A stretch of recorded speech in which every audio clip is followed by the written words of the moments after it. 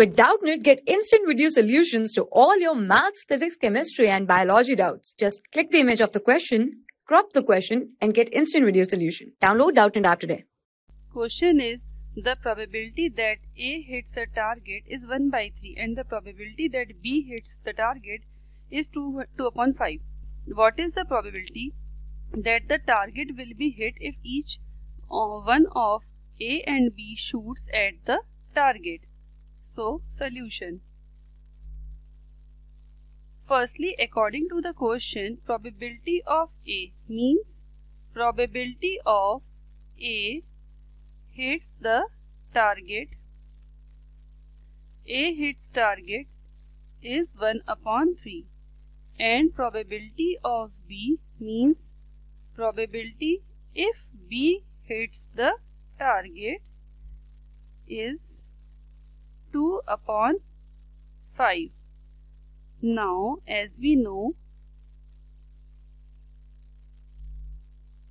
as we know the formula is probability of A union B equals to probability of target will be hit by either A or B.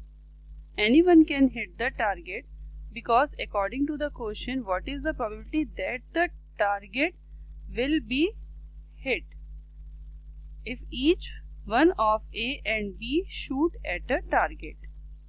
So we will apply formula here to solve this question which is P A union B is probability of A plus probability of B minus probability of A intersection B.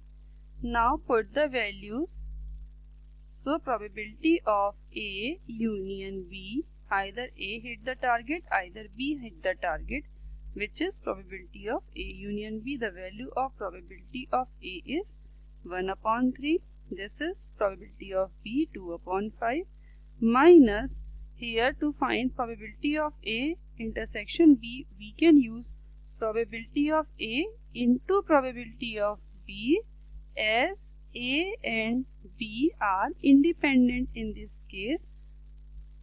A separately hit and B separately hit the target.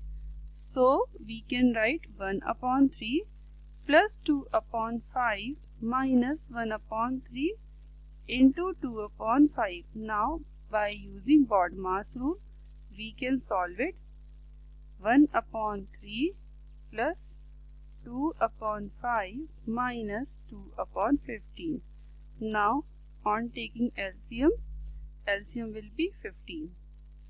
So 5 plus 6 minus 2, 5 plus 6 11, 11 minus 2 9 means 9 upon 15 or we can write it on reducing we get probability of A union B is 3 upon 5 this is the required solution of the given question thank you For class 6 to 12, IIT JEE and NEET level.